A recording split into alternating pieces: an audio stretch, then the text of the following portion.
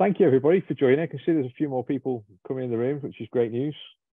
It's good to see some new new names as well. A couple of uh, couple of guys that have been with us and a few few investors there as, as well. Excellent. So nice to see everybody uh, on board. Thank you very much for your time um, on this uh, this evening. So yeah, so let, let's start off where where we are in terms of the subject. So how short-term investments are key to beating the recession. So I think ultimately it's quite an unusual title because you know normally when you're talking about recessions or you mention the word recession, and typically you're not looking at you know how to invest or where them investment those investment pots are. This this webinar has been put together really because myself and John, who I'm going to introduce shortly, um, we spend a lot of time talking to investors, and there are so many kind of different opinions, so many different ideas and suggestions of what's happening and how unusual the market is. And, and generally, we find it quite interesting speaking to different investors. And we thought it'd be great to kind of put something together, share those ideas, share those thoughts, um, and also listen to other people's opinions and thoughts and see how it can happen, how it might affect investments, what investment opportunities are out there. Um, and, and that's what this is based on. So it's going to be property led because ultimately we are property people. So if you know about Sourced already, you'll, you'll be aware of that. If not, we're going to give you an introduction into Sourced and who we are. Um, but more importantly, we're going to talk about um, the market, uh, where we are at the moment, what we see is going to happen, um, and how that affects investments, and obviously how we can beat recession and look at short-term investments as well. So we'll jump in to introduce ourselves properly. So my name is Stephen Moss. I'm the managing director of Sourced Group. So I'll, I'll give you a quick introduction shortly to, to the Sourced Group, who we are uh, as a group and a team. Um, so my experience and the reason I, am kind of sat here chatting away um, is I've been in the property uh, and investment sector for 21 years. Um, so an awful long time. Um, I'm looking at this more, and one of the reasons that John's asked me to kind of jump on this webinar is I'm looking at this more from a point of view of actually as a, a developer or investor, uh, and to you know, given the feedback that I'm hearing from different people and the the uh, the general feedback from from the market as well. So it's quite interesting having been through recession of sort of 2008, 2009, how this is how this is different. And I suppose when you speak to people that have been through multiple recessions, you, they always kind of feedback that they are different. You know, the the crash in, in sort of uh, late 80, 1980, sorry, that was very different to 2008, 2009. Um, and this seems to be very different as well. It seems to be a very different approach uh, as to what's happening and, and how the market's playing out as well. So we're going to touch on some of those points. I'd like to introduce you to John Wilson. Um, John, if you could introduce yourself and let everybody know your role and, and what you do yourself. Yeah, absolutely. So I've been working with Steve with our investors now for uh, around about three years. So on a day-to-day basis, I'll speak with investors that are looking at investing with Sourced Capital, looking at investing in other different vehicles. And eh, through the questions that I've had over probably the last four or five months, really, um, regarding are we in a recession? Are we moving into a recession? What are your thoughts? What are your plans? What are Sourced Capital doing to potentially change how they operate? And I thought it'd be a great idea to, to bring together current investors, which I can see quite a few on uh, the webinar today, and also new faces to to have that discussion really. And it's part of the the next slide that we'll go on to, and what is the reason for it, and what are we looking to do. Uh, but that that's a main reason why I thought let's connect with Steve, let's bring him into the webinar. And from my day-to-day role, a lot of investors have a lot of different thought processes on what they want to achieve and how they're going to achieve that. And the recession and the way that this recession's leading and how we're going to get there. And we'll talk about why we're talking about an, uh, investing when there's potentially a recession coming. And it's quite a unique mix of, of everything that's happening. And that's one of the reasons really that uh, that we thought we'd bring it together. So we'll go through the slides as we go. Any questions that you've got, let me know. Let Steve know, and let's run through it. Yeah, fantastic, excellent. Um, I can see questions popped up already we need to see your face, John. I mean, you, you know, it's uh, they must have heard how good looking you are, John. So oh, they, they must uh, have done. We've got an anonymous attendee uh, who's asked that one, so ninety nine percent chance it's a, uh, a sourced employee. um, no, fantastic. So we'll jump into this. So first of all, before we, we go into obviously talking about investments, um, it's important information. It's important that we state that this webinar, not financial advice. During this webinar, we will look into investment opportunities from Sourced Capital. These opportunities are for, for sophisticated, sorry, high net worth individuals. Your capital is at risk and you may lose all you lend.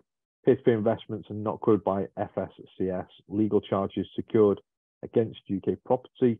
Property values may go up or down. That's obviously a point we're going to discuss. Uh, investments are illiquid. Um, so it's important we, we're you know completely open and transparent. Uh, as a business, we are FCA regulated, so we want to make sure that we're very clear with people.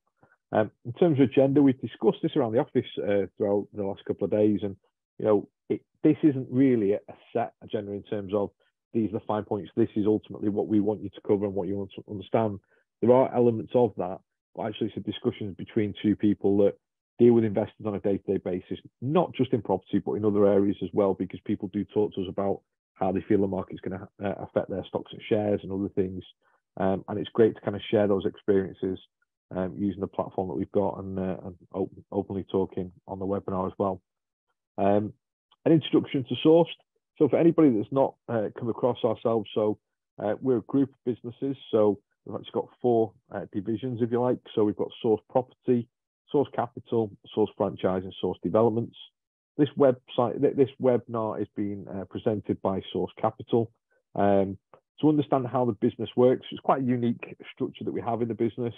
Um, Sourced Property is a uh, well, actually start with Sourced Franchise is probably a little bit easier, but yeah, we've we've got a, a network of over 170 franchisees across the UK. So people that we work with, we train, we support, we provide leads with, um, and we help them to build their property portfolios to buy and sell properties or to develop properties as well. So a, a real kind of mix and, and variety. Um, if a franchisee finds an opportunity, they've got two options. Typically, they can either package it and sell it to an investor, alternatively, they might want to do the project themselves. If they decide to go down the route of packaging it and selling it to an investor, then it goes through our property arm, so Sourced Property, and and that uploads it to our phone app. So if, if anybody's seen our phone app on uh, Apple and Android, um, it's free download, and there's new properties added on there every single day, investment opportunities.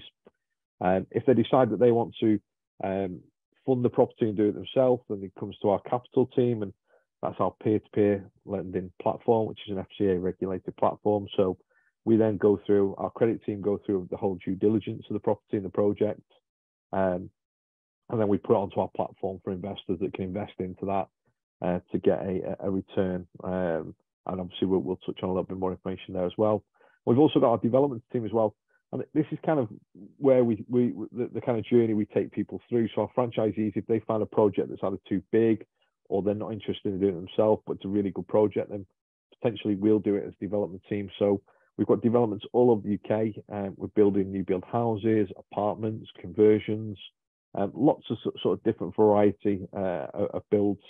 Um, and again, that kind of gives us a real insight into actually what's happening in, across the UK because we're not focused on just sort of the northwest or the northeast. We've actually got stuff northeast, northwest, Midlands, southwest, you know, dotted all over the UK. It gives us a real variety of what's happening in certain areas. What are the what are the concerns? What what are investors looking for? How's that market changed a little bit? You know, are the um, are the returns that the properties there were previously uh, generating? Are they still interested in uh, enough for investors to continue to purchase?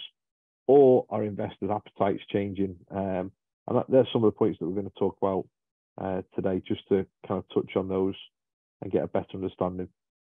So that's an overview of who we are, um, the business and the group. Uh, I'm going to jump into this. Feel free to ask any questions throughout the presentation. So we've got the uh, Q&A um, and we've got a live chat on here as well. So part of Zoom's feature, you can just click on that throw any questions into it about any particular slides. Um, at the end, there'll be the opportunity to ask any questions as well if you prefer to do that. And we'll also have contact details for John. So if anybody's got any queries, they're more than welcome to jump on and, uh, and speak to him directly. If it's a, if it's a bit more specific or about your needs, uh, feel free to, to uh, talk to about that as well. So 2022, um, a recession that doesn't play by the economic rule book. So what do we mean by that? What we mean is ultimately you know, typically when you're going into a recession or you're on the verge of a recession, interest rates would be low or lowered to encourage borrowing and spending. However, we're obviously in a, a unique position where actually interest rates are being increased. Um, employment, we have full employment at the moment. So again, typically when you enter in a recession or you, you as kind of some people consider us already to be in recession, you know, typically employment or unemployment is is rising. That's not happening at the moment. Another quite unique position is the fact that um, there are cash-rich companies out there, and previously in recessions that hasn't been the case. Cash has been very difficult to get hold of, um, and also investors are still very active. Um, you know, it surprised me today. I, I went to visit one of our sites where we're building ten new build uh, detached houses, so almost a quarter of a million pound houses, um, and we have viewings today. And it kind of made me think about the, the webinar in terms of, you know, people are still out there, people are still looking, and you know, it is not as an investment point of view, but just actually generally in the background, there's there's people still being active in the market, um, which is quite quite nice to see. And um, I know a couple of well, probably about six weeks ago now, I went to a, a conference and they had a, a, bank panel there, and the bank panel was sat there and they were kind of feeding back, and this was just literally probably about two days after uh, interest rates had gone up and you know the banking structure had changed. Um, and the guys were sat there from uh, Barclays uh, through to I think it was about five or six different banks, and they were kind of sat there with their hands up, saying, "Look, actually, we're in a really unusual position in terms of we've got more cash than we've ever had. However, we've also got a risk a risk matrix, or you know, we're driven by risk now, and that's what's changing our our, our uh, lending or our criteria and, and what we're looking for. So, um, very unique position in terms of uh, entering, you know, 2022, um, and how it's different from other recessions. Something we've been talking about, John, isn't it, in terms of you know the general uh, uniqueness of this position. Absolutely, and it's one of those strange times where you look at the differences between today and potentially moving into a recession, which doesn't really have a clear definition of what it is. Um, the general consensus is that an economic downturn uh, over a period of two quarters. But there's many different uh, theories on what exactly a recession is. Uh, this kind of uh, alludes to the, the title of how it doesn't play into the, the general rule book because you would have unemployment across the country. You would have uh, banks in particular with very little capital to deploy. You would have uh, a lot of potential investors that we deal with um, who aren't looking to invest. However, investors are still very active. You would have the housing market, which is extremely dry, both of stock and uh, also of uh, potential buyers. And we're not really seeing that across the board. And that's one of the reasons why it's so unique of a position. And nobody really knows what to do. Do you sit there on your hands and not invest, even though you've got the capital to do so?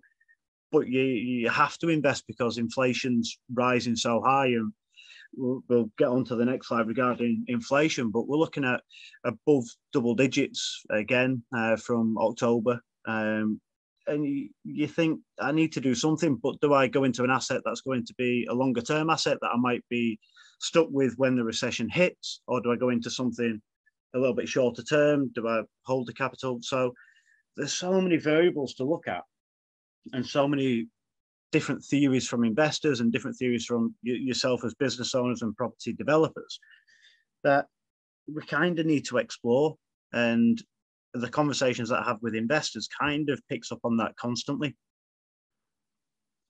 Yeah, I think uh, it's fair to say as well. A lot of a lot of investors we're talking to, you know, they they see in the media and they're seeing that you know everyone's talking about recession, recession, but they're not fully feeling that because I suppose in some it depends as well in what area you're working in because you know particularly myself as a developer, you know I've found that not that we're in recession, but I've found that costs of materials have been going up and up and up and up, cost of labour, etc.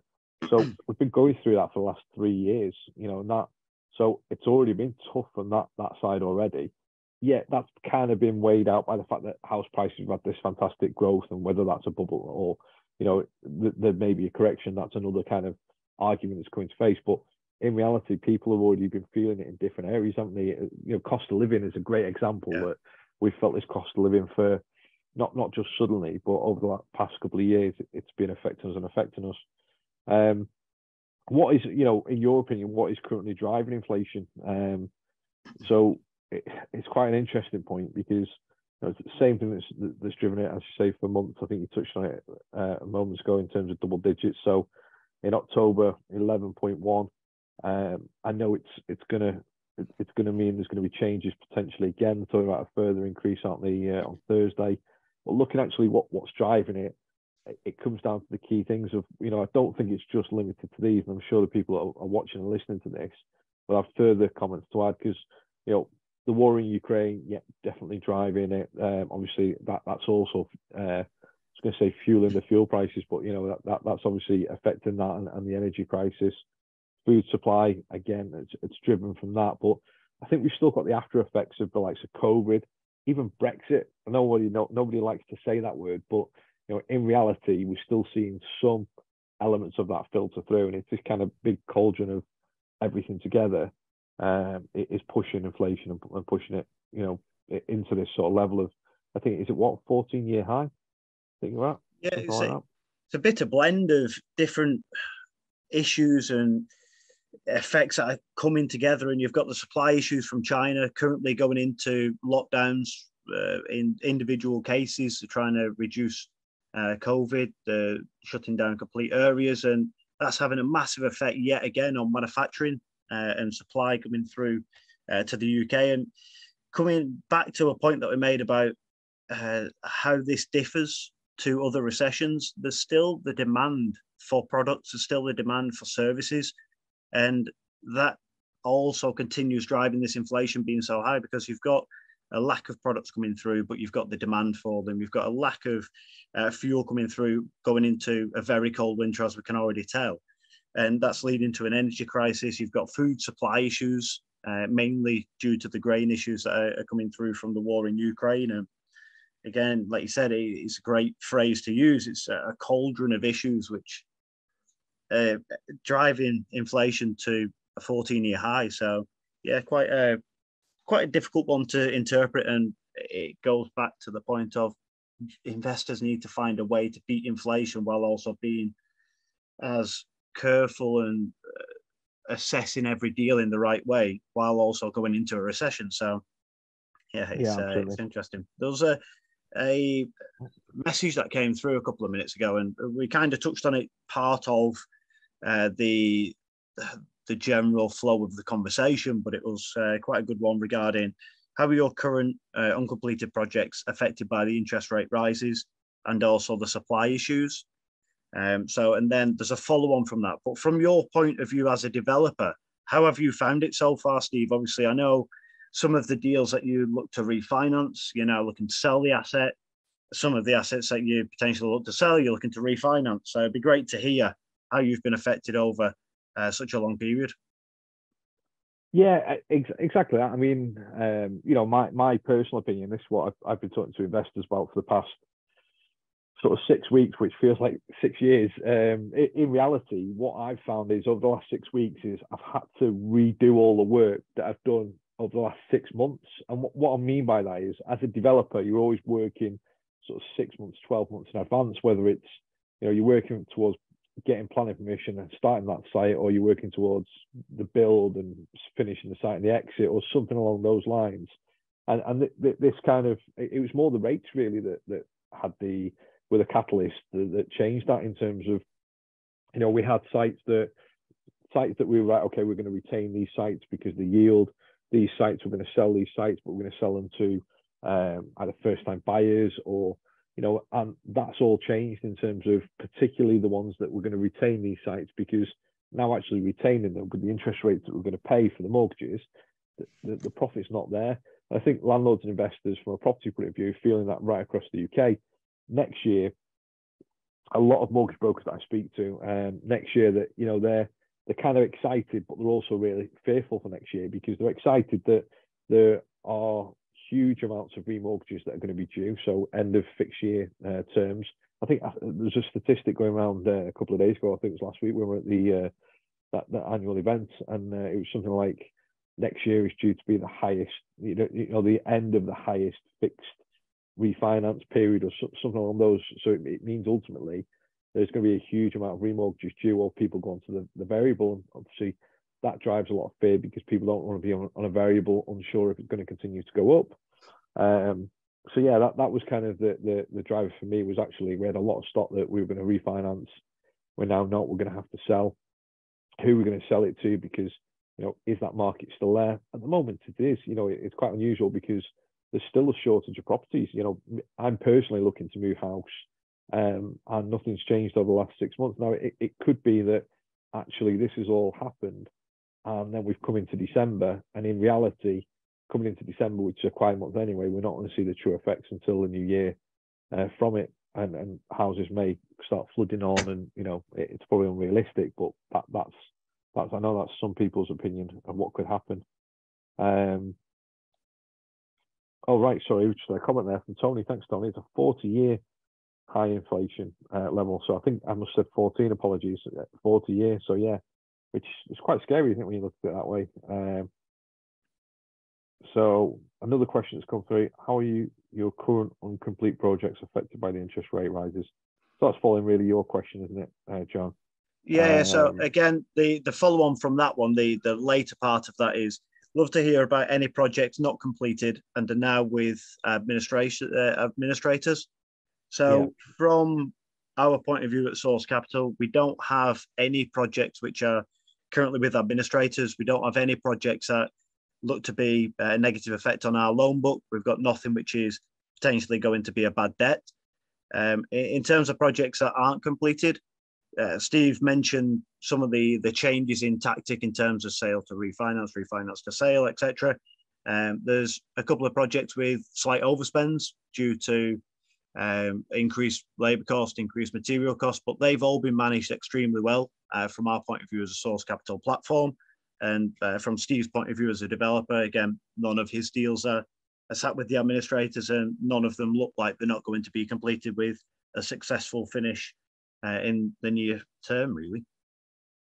No, I think I think that comes down to you know when we talked about the company structure at the very beginning. Um, you know, we're quite a unique structure. So where we differ from you know every other kind of lender out there is actually we only lend money to our franchisees. So we don't lend money externally. So it's not we don't have a process like most lenders where they go through an online application form and you know um, it, it's kind of it's kind of automated process and then they lend money based on that.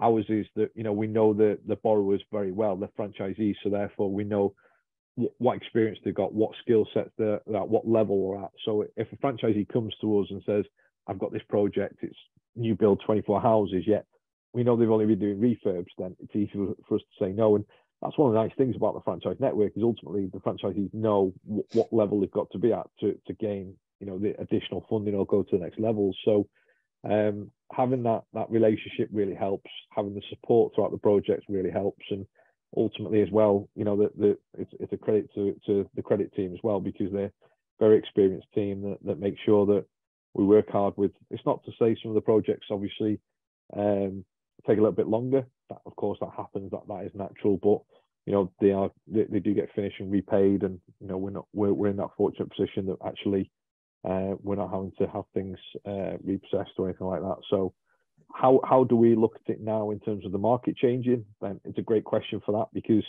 you know what we've had to do is sit down and say, okay, what what is the exit on these projects, and you know how realistic is that exit?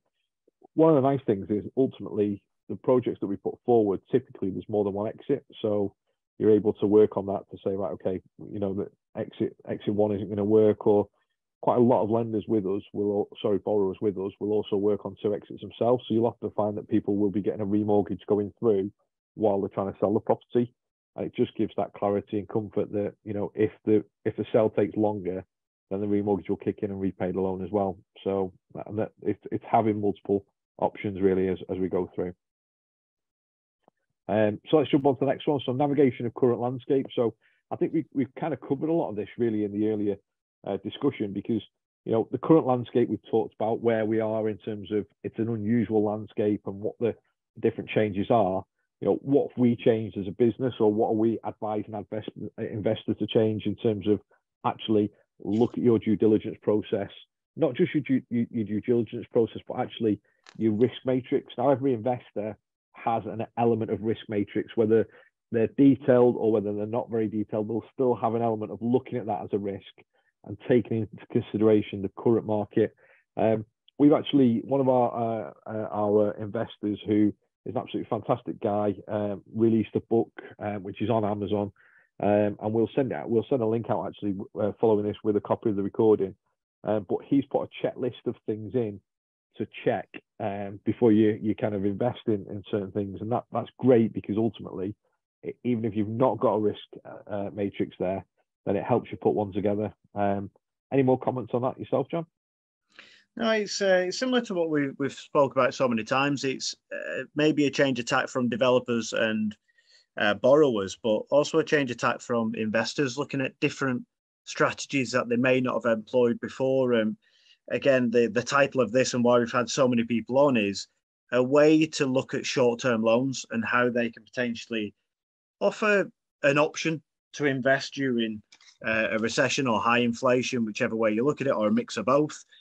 And you kind of look at the other options. You've got options of keeping money in the bank, sat there idle, not really doing much. It's earning a bit of interest now since the rates went up. You've got stocks and shares. Generally, going into a recession, it's potentially not the best time to be looking at stocks and shares. However, there are big winners at the minute, such as your gas companies or energy companies, etc. And we'll look and explore how short-term loan, uh, loans can help navigate this landscape of of what we're dealing with currently. And a lot of the investors that I deal with have traditionally started, uh, well, started as bricks and mortar investors, just buying buy-to-let properties, and and that was really it. But now, over the last few years in particular, they've looked at different strategies to allow them to still be relatively flexible, but have their money working for them because it may be that in a few years' time they want to change tactic again completely, but it allows them to diversify and send their money to work while not being tied in for a long period of time. And you've got the issues of high interest rates. So you buy to let industry. We've done a webinar from the Sourced Franchise point of view in the past, looking at is uh, buy to let dead and how that works and operates. Obviously, there's still massive benefits to be made, but your HMO investors are dealing with the energy crisis and needing to put their rates up per room a lot higher. They're also dealing with potentially council tax coming in. So investing in property in a different way has become more and more popular with investors.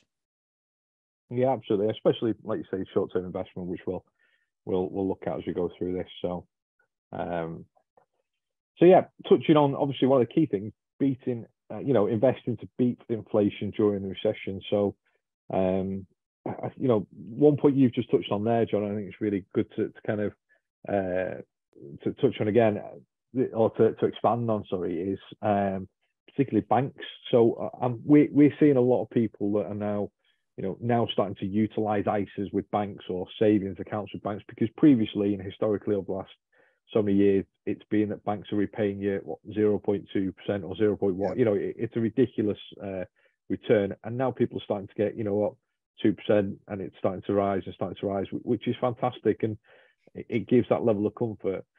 What we're seeing, what what I'm seeing certainly, and what what we talked about, John, uh, with the team is, you know, we're seeing that, but we're only seeing it at a certain level because what we're finding is investors are still wary of the banks in terms of only so much is protected, um, and ultimately there are no other assets behind that. So that that's one area, and secondly, they know that that raise can't continue continue continue. We know interest rates can't just continue to grow and continue to grow.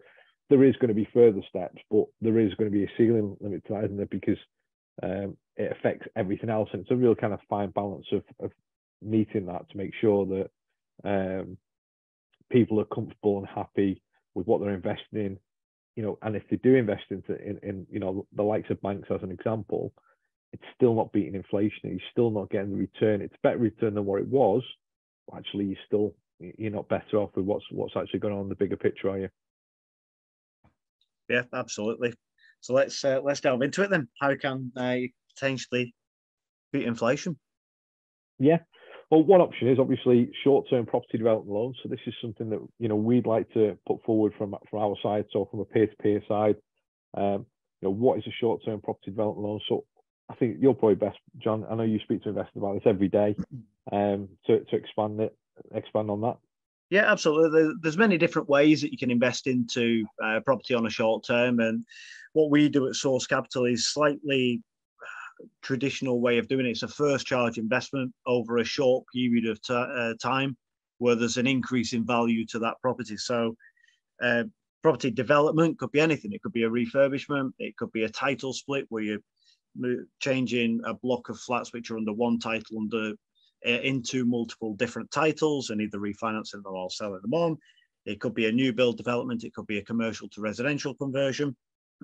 Anytime a developer is looking for uh, funding for that development. As as long as they're part of our franchise, we'll assess that deal to make sure that we're comfortable with it. That deal could be generally six to 18 months, a short term, and there'll be a period of a build, and then there'll be a period of a sale or refinance uh, at the back of that.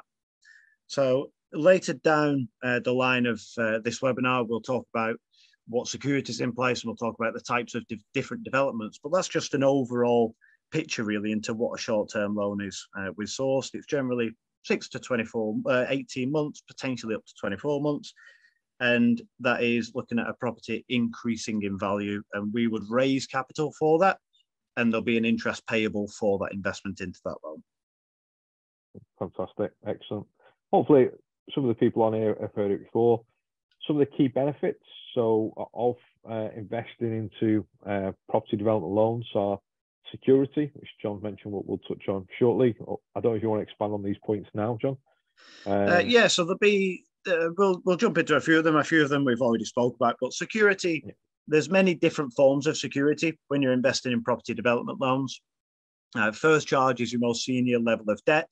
Uh, so that is that you'll be repaid before anybody else. Uh, rights for repossession. There could be uh, just a company debenture in place. There could be a second charge which ranks behind a first charge, so you're repaid uh, laterally after uh, the interest and the capital's been repaid on the first charge. There could just be an equity investment directly into uh, the company that's doing the, the borrowing. There could be a personal guarantee in place, or there could be a combination uh, of a few of those factors and security methods in place. And it, obviously, we only focus as a business. We are purely just first charge in terms of the, the loans that are offered on the platform. That's um, right. Yeah. So to give people understanding, regulation. So um, there are platforms out there that are unregulated. There are reasons for that. It's very difficult to get. You've got to make sure you've got the full procedures, policies, uh, experience in place, um, and capital support as well. So we are FCA regulated um, and we're very proud of it. it. took us a long time to achieve. Um, and it makes sure that obviously we're doing the reporting correctly. Um, there's audits in place, and you know ultimately we, we're keeping up to date with what's happening in the market and the changes in the market by being part of this, uh, this the regulator as well. So um, stability. So having some stability is certainly a, really strong word in, in, this market that we're in now. Um, so making sure that you know it, it's a little bit different from investing into sort of stocks and shares that can can jump quite quickly in terms of value. Uh, whereas typically with property, and, and, don't get me wrong, I'm not suggesting property can't go down. Of course, it can go down.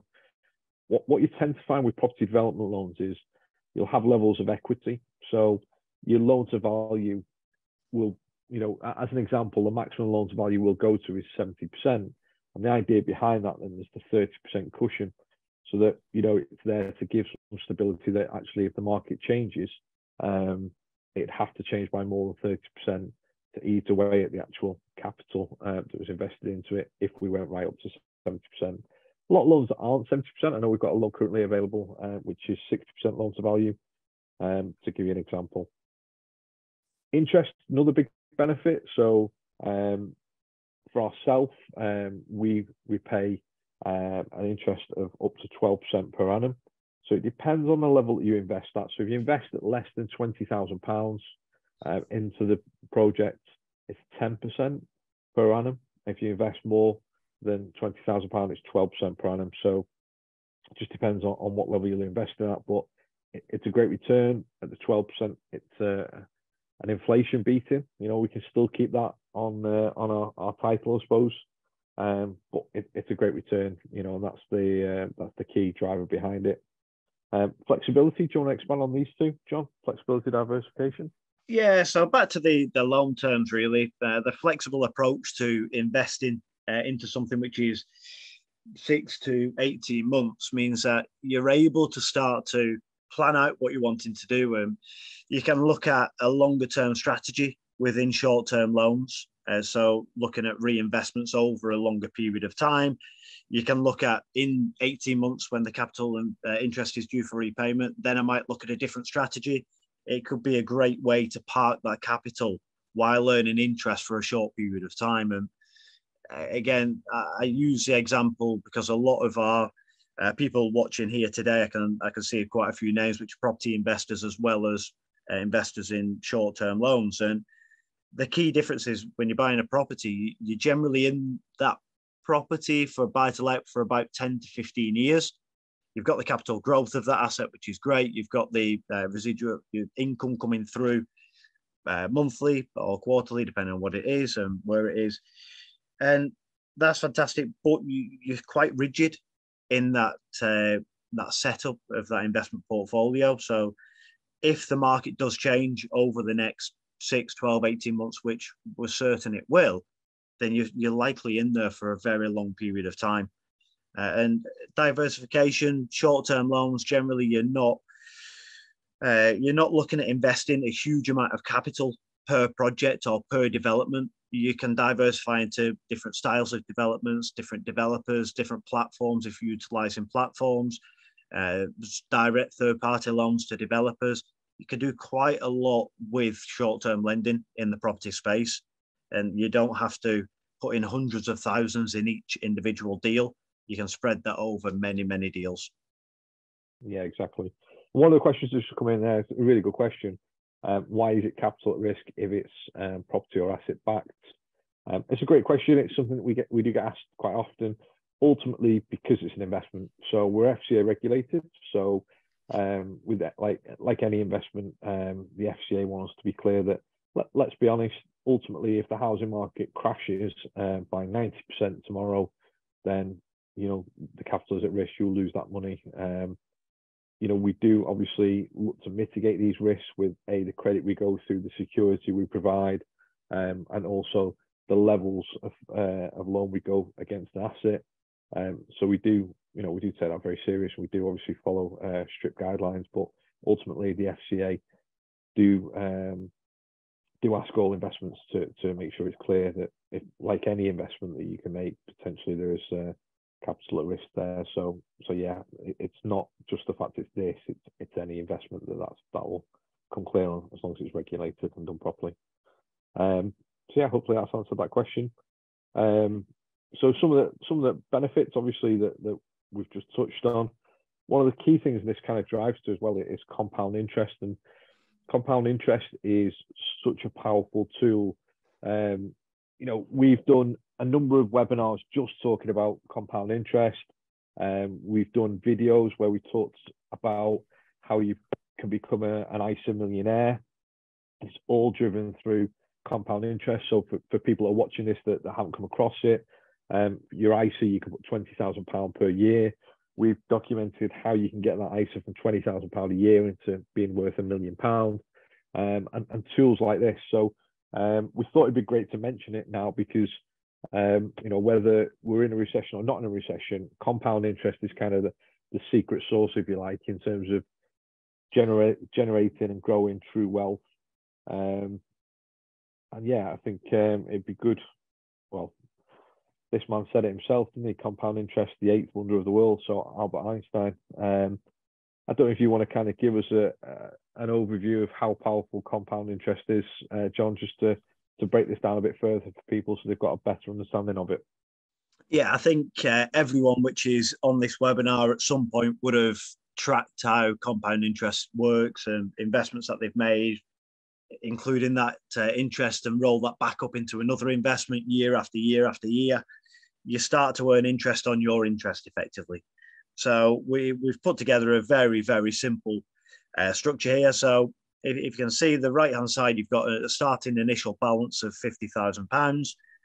Every single year you're earning interest. So your first year on that is £6,000 worth of interest over a 12 months period based on a 12% uh, per annum rate.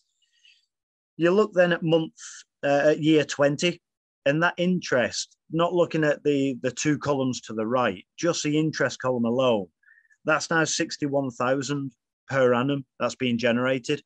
There hasn't been an increased rate. There hasn't been any additional uh, capital deployed into that investment. It's purely through that investment receiving a return every single year and then being redeployed into it. Obviously, this is a very simplistic calculation. You then start to look at cash drag, you look at how long it is before you redeploy the funds, you look at if a project is 18 months rather than 12 months, or if it's six months, etc. But this is based on 12% per annum over a year period, 12 month period.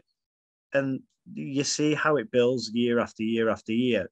Taking the total balance over a 20 year period of an investment period with just that one initial deposit to over half a million pounds, it's 544,000. There's nothing crazy been done here. It's just a redeployment of funds. And that's kind of a way that we we assess our investors' loans because they invest into one deal and then they can do whatever they like with it. Our reinvestment rate is around about 90%.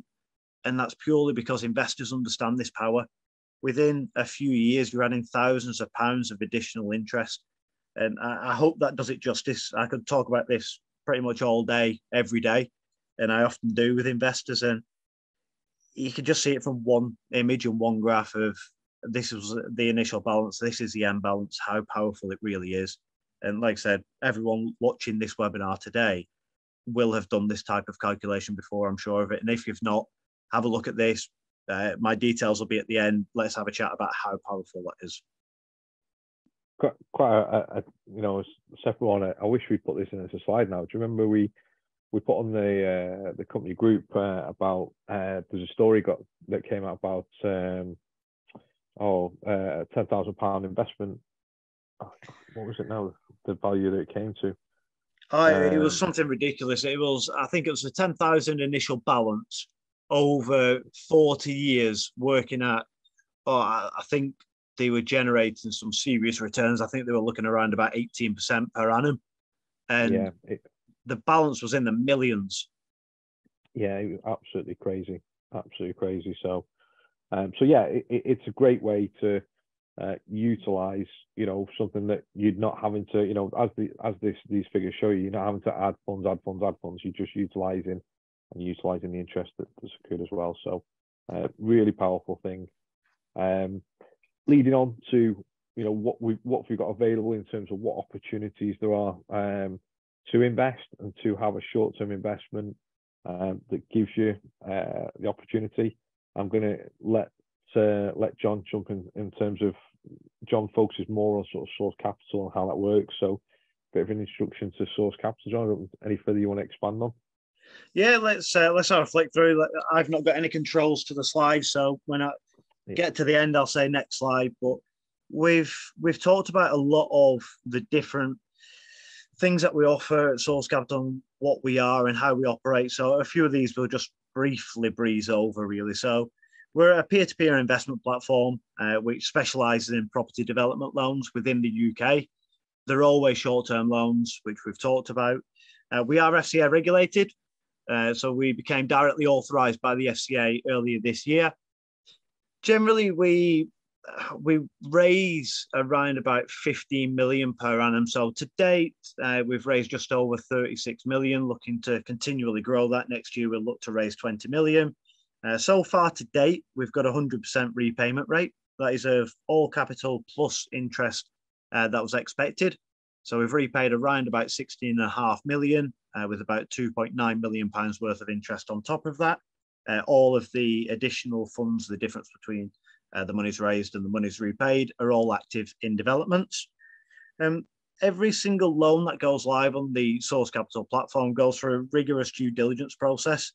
So every single uh, developer and development will go uh, have a independent risk uh, surveyor's report completed, which is a valuation report on today's value, what the expected cost throughout the project would be, and what the end value would be, as well as looking at what that time frame is uh, to make sure that it's a suitable time frame for us and for our investors and it's realistic. And then we work that backwards. So we look at how much the property is going to be worth, we'll look at how much it's worth currently, and then we'll look at how much we're prepared to lend against that or our investors are prepared to lend against that. So we've had a couple of bits pop through. I didn't really uh, see them until they've uh, just gone through. So I've got a couple of questions, oh, which apparently I've uh, I've answered. So uh, has there been any cases where investors have lost money fully or partially with Sourced Capital to date?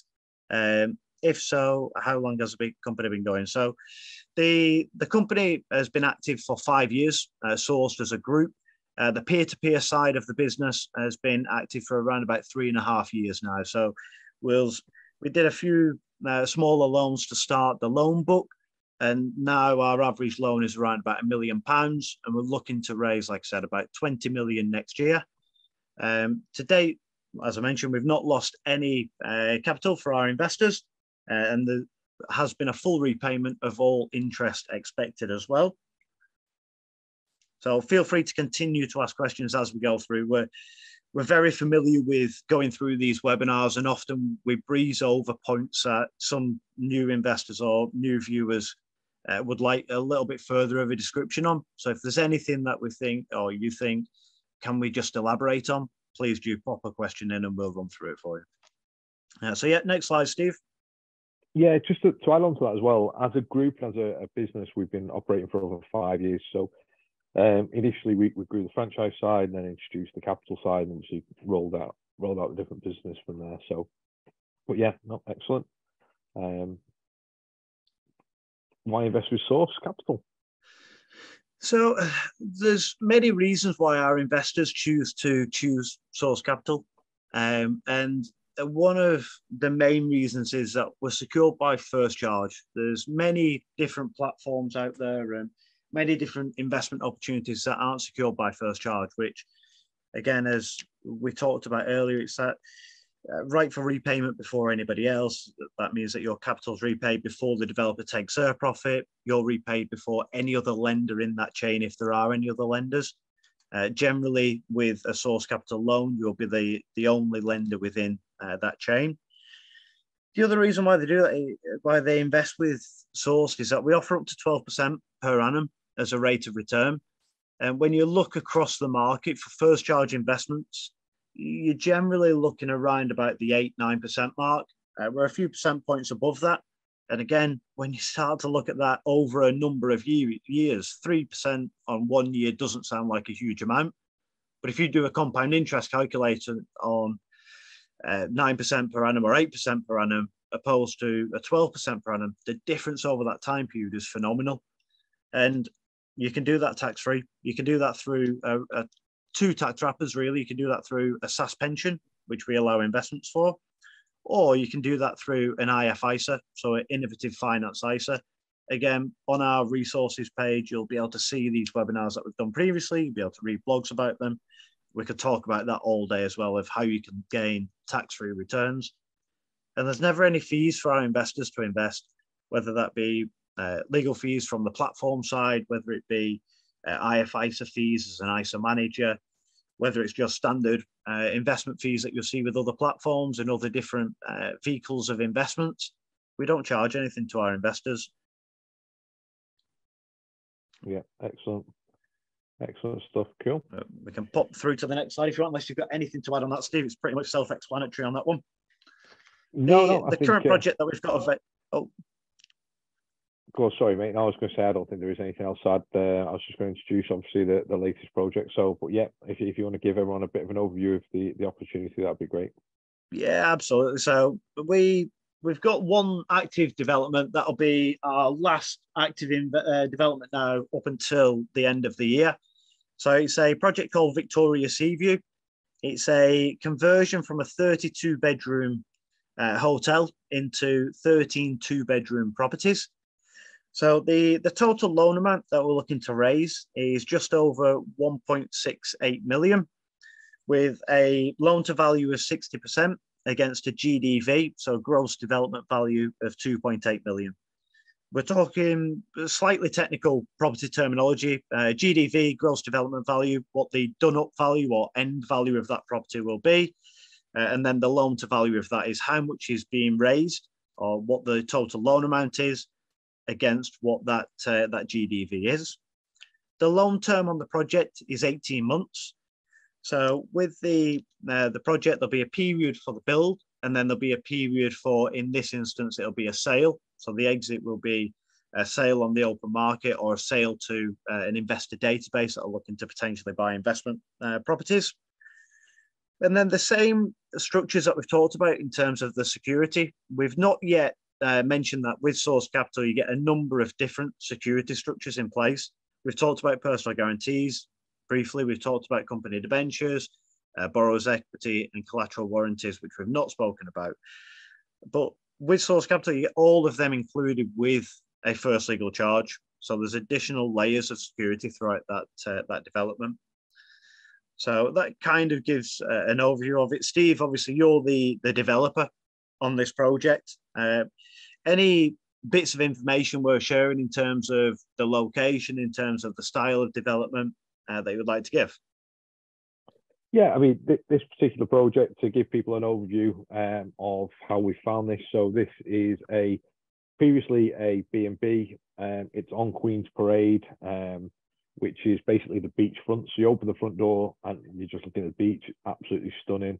Um, we've took it all the way through planning permission. It's got lots of off-road parking at the other side of the building. Um, absolutely fantastic views. The apartments that be the planning permission for, I think it's 12 apartments off the top of my head, might be 13 actually, um, is ultimately, I think all of them except for two have sea views, which is awesome. Um, and yeah, we, we've we've done this on the basis of the figures that you're talking about are bricks and mortar figures, but in reality, um, there's such a demand for service accommodation units in this location that if you start applying that to this, then the GDV is much, much higher and the, the return rates are, are a great opportunity for investors. That's why potentially the end sale could just be to an investor block and, and taking that way. Um, in terms of conversion, we've done lots of projects like this. So if anyone's kind of followed us through social medias, etc., we'll see lots, lots of conversion projects taking place and completed. Um, there's nothing particularly unusual about it. Um, it's it's just being stripped back to brick and, uh, and, and you know rejigged. There's not a lot of structural work, which is fantastic. There's very very little structural work actually that's that's been done. We've had a full structural report, um, asbestos report, etc. as part of the the due diligence and going through the process. Um, so yeah, so really excited about the project. Being location, absolutely beautiful. Um, good size apartments, which is the next thing. No studios, so quite a few ticks in the boxes in terms of we're also working off kind of, in my view, a worst case scenario valuation because you know the it's the bricks and mortar when realistically we, we, we should be able to achieve a lot more. So should give give comfort to investors and you know as you said they've got the hmm. security with first charge etc against the property. Um, that's obviously something that if somebody's interested and would like to know more, definitely need to, to contact you and, and have a chat with you about it. Yeah, and obviously the the webinar is how to invest with high inflation and potentially moving into a recession. What challenges have you had with this development? Have you had any down valuations? Have you had uh, trouble finding contractors? Have you had any issues with the potential supply chain moving into it? Uh, what what have you come against so far with this development?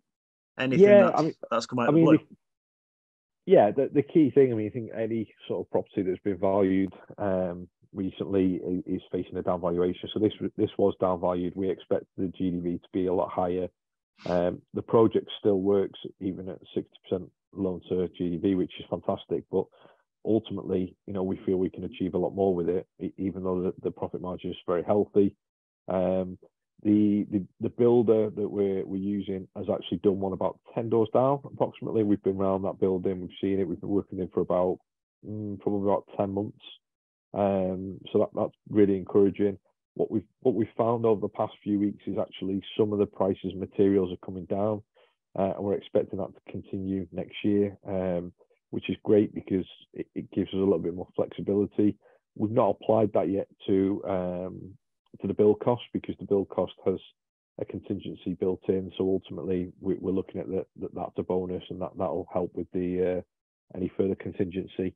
Um, but no, you know, quite quite straightforward. Um, as I say, we did renegotiate with the purchase price because the uh, down valuation of GDV, but but that worked out quite well as well. So um, so yeah, they're they're the main kind of um, yeah, they're the main points. I know a question that's just coming about GDV. Um, so to explain in GDV, you're absolutely right. That's the value that once this building's converted is is expected to sell at. So you can get two. Typically, you, you can generate two GDVs. You can generate a GDV which is bricks and mortar, which means just as a, a property. So that's what this is. So this is uh, the GDV of this one is 2.8 million. So once this, this has been converted, it, it should be worth as a property 2.8 million. You can also get a commercial GDV where they work off the rental income. So that the the commercial GDV for this might be 3.4 million, um, which is higher, but you know you, you potentially taking a risk there that are you going to get a commercial mortgage or are you going to get a commercial buyer, etc., etc. So it's better to wait, wait to operate on the the more sort of um, secure side and err on the side of caution, really, I suppose. Yeah, and just to explain that a, a little bit further as well. So that 2.8 is split over 13 different uh, properties. So there'll be 13 two bedroom properties. So just as an average, there'll be around about 215,000 per property. So yeah. rather than needing to sell it as one asset at 2.8 million, that'll be split. That'll be then sold on as individual units. Yeah, fantastic. Excellent. If anyone's got any questions about the project or you know security and that, please feel free to, to jump in.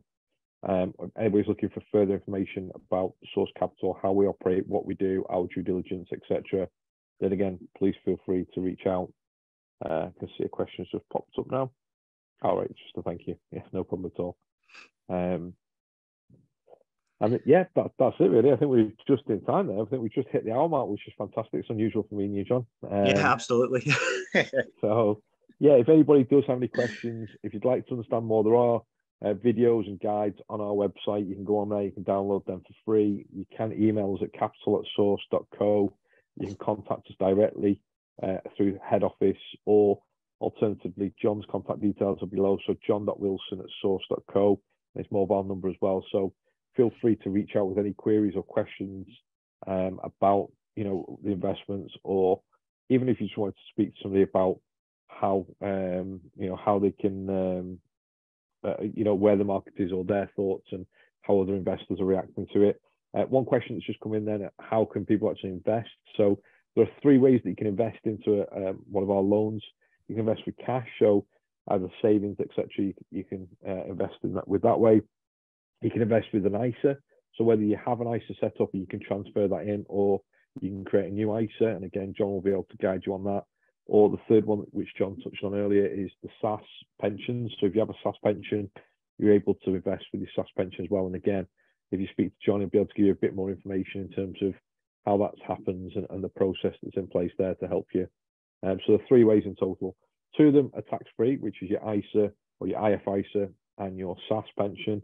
Um, or if you're just looking to use uh, investments, whether it's savings, we have quite a large portion of our investors that are companies. So they've got money sat in their company. Um, they don't want to draw down because they pay tax. So ultimately they invest it and it just obviously helps build and build and goes back into the business. Um, and then just a, another one that's come through. Can anyone invest? The investments are specific to high net worth or sophisticated investors. Uh, but if you send over a uh, email to myself, I'll send through our website. You can have a look through. You can go through the the onboarding process, and during that registration, you'll be able to uh, classify yourself as an investor uh, going through that process.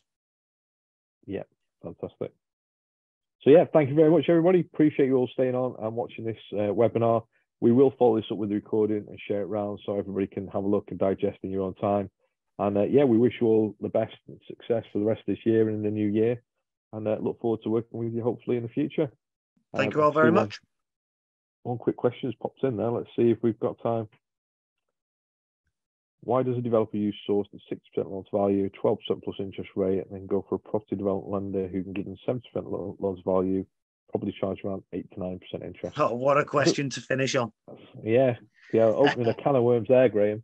so yeah, I, I think um, we get asked this question quite a bit in terms of you know what you can get um, bridging loans for six percent and, and things like that, and in reality, it's very difficult to. You know, we, we I've been in the property sector for you know 20 odd years, and you know the reality of it is actually even even other bridging companies that I've utilised and things like you still end up paying about 12% plus fees. So there's no, you know, there are the the there are products out there. Typically, you've got to put down a huge amount, so it's maybe 50%, sometimes 60% uh, deposits. Um, but generally speaking, you often find that there's a lot of clickbait out there where people will advertise rates to say, you know, we'll lend you money and it's at point, you know, five percent per uh, per month, etc. Actually, when you go through all the details, you go through all the process. There's very few people that do it. There's also a big issue in, in terms of in the development world where there are a lot of bridging companies that you know, are balancing monies, balancing uh, their own books and hoping for monies to be repaid so they can lend it straight back out. So a lot of scare stories out there where people have gone all the way through to um, exchange and waiting to draw down funds, and the funds just don't come because the bridging company haven't been repaid back another loan or there are other issues within the pipeline. So um, it's a great question, and we do get asked that quite a bit. Why do people pay 12%? 12% is the average rate for uh, bridging companies. Um, you will see clickbait emails, etc., of, of, opportunities that are cheaper, but in reality, um, that, that's the market that we're in. Would you say that's a fair answer, John? Anything you'd add to that?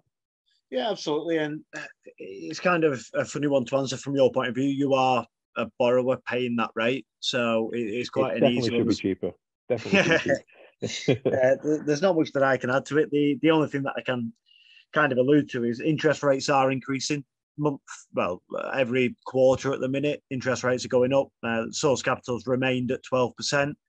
Those rates with bridging companies, with development lenders, they are consistently changing and they are moving closer to that higher rate. Um, so we're not a million miles away from the norm in terms of the rate. And we offer that to our investors straight away. We don't take huge fees. We don't take any fees from that 12%. We take slightly uh, additional fees on an entrance and exit fee, but we don't charge any early repayment fees. Um, there's no caveats to what we do. It's very straightforward lending.